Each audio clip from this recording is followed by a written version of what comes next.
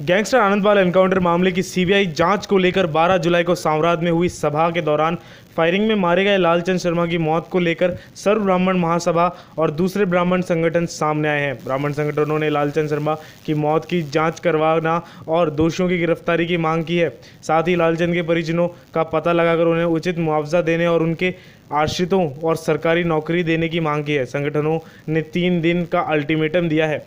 अगर तीन दिन में मांगे पूरी नहीं हुई तो ब्राह्मण समाज, भाजपा सरकार के खिलाफ सड़क पर उतरेगा। सर्व ब्राह्मण महासभा के प्रदेश अध्यक्ष सुरेश मिश्रा ने आरोप लगाया कि फायरिंग में घायल लालचंद शर्मा के मरने से पहले अपना नाम, पता और घर वालों के बारे में बताया था। लेकिन पुलिस ने दो दिन बीतने के बाद भी उसके घर वालों का पता नहीं लगाया और ना ही सूचना दी।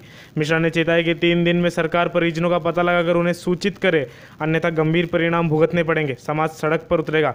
यह भी कहा कि अगर लालचंद के परिवार का पता नहीं चलता तो महासभा लालचंद्र का अंतिम संस्कार करेगा। खबरों के लिए जुड़े रहे हमारे साथ और हमें सब्सक्राइब करना ना भूलें।